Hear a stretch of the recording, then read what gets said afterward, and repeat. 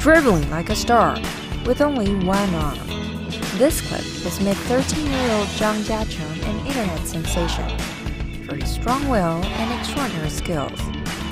Zhang was born in the southern Chinese province of Guangdong. He lost his right arm in an accident at just five years old, but basketball has kept him going.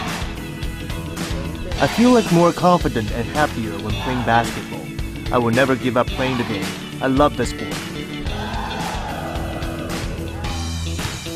From the school playground to the 13 square meter living room at home, Zhang has never missed a chance to perfect his skills. His coach and parents say the teenager practices over five hours every day. This is the hardest working kid I've ever seen playing basketball throughout my entire career, and is also the most impressive. With only one hand, he holds up the sky of his own.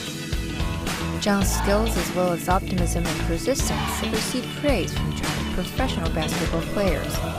Former national team member and now the manager of the Guangdong Southern Tiger team, Zhu Fangyu, invited Zhang to come watch the team play after the season resumes.